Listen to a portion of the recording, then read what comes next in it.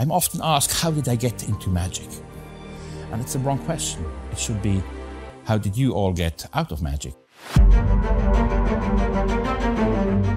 Roberto Giobbi's Red Card is a masterpiece of mental card magic. Here's what happens.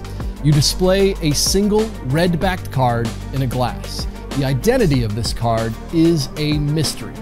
Then you show a blue back deck to your audience. The red card is placed on top of the blue deck. It's then cut and lost into the center of the pack. The blue deck is placed back into the glass and out of your hands. Then the audience collectively selects a card.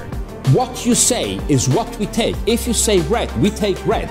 If you take black, we take black. You could have said red, but you said black. You could have said clubs, but you said spade. You could have said number card, but you said pictures. You said queen. And if you said number, you could have said any other card.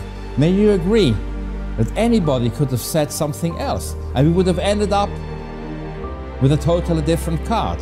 You take the blue deck from the glass, remove the named card, and it is the red card.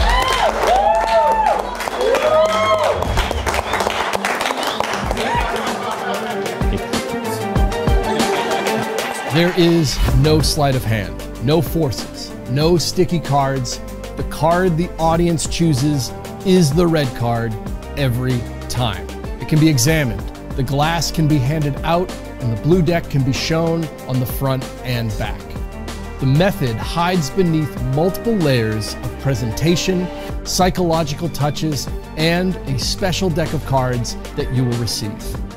This is the red card, and it has been a part of my professional repertoire for many years. Actually, it's been a, a closing trick or an encore trick. It has fooled some of the brightest minds in magic. Now it's here for you.